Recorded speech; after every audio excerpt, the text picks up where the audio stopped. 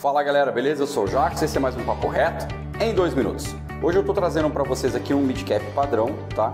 Para apresentar para vocês e mostrar as partes desse midcap, tá? Esse é um midcap que já estava com problema e aí a gente colou ele aqui para poder estar tá utilizando, então ele está funcional, tudo certinho, tá?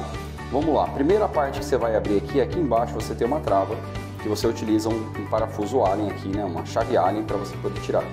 E aí você vai remover essa parte e automaticamente ó, ela já vai expelir a guia da mola, tá?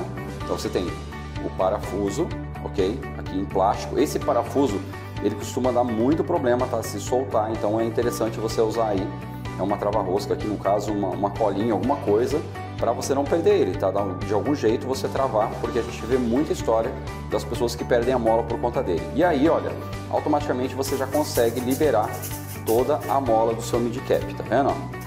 E aí, também vem junto com ela a guia das BBS, tá? Então a gente tem aqui a mola e a guia das BBS. Vou deixar a mola para cá para que a gente possa ver. E aí você vai ter então agora os dois lados do magazine e a parte superior aqui, que é essa travinha que também tem uma mola que faz a alimentação das BBS. Então bastante cuidado para não perder essa parte de cima. Ele é colado, tá?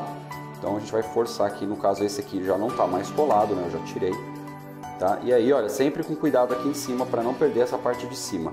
E aí a gente vai abrir o mid cap e você vai ver aqui em cima então a travinha com a mola de guia dela. Então a gente vai tirar aqui e vai liberar esses dois componentes aqui, tá? Então pessoal, essas são as partes do seu mid cap. O que tem que ter muito cuidado, não usa lubrificante aqui dentro, porque tudo que você usar aqui dentro vai parar lá no seu roupado. Limpeza sempre a seco. Como? Somente tirando o parafuso de baixo, limpando a mola né, e voltando ao lugar. Beleza, galera? Esse foi o nosso papo reto em dois minutos. Tamo junto, e honra.